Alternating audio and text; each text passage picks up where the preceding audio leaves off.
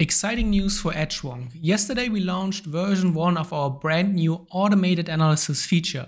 Our goal with this new feature is to support our users better understand their trading performance and their data in Edgewonk so that you can make more informed decisions and improve your trading results.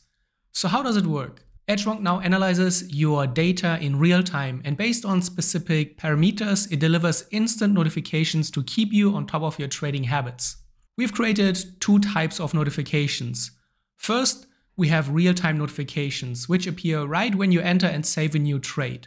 And these will alert you to key moments, such as when you're in a losing streak, when you mismanaged your trade, when you've been repeatedly violating your trading rules, and when you spot positive developments in your trading behavior and performance.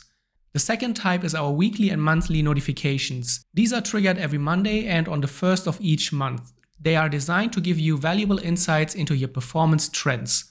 For example, you will see your best performing setup over the last week, your most profitable trading day and hour, significant changes in your overall win rate, shifts in your efficiency, which means how well you execute and follow your trading plan, and an overview of your performance development week by week, among many others.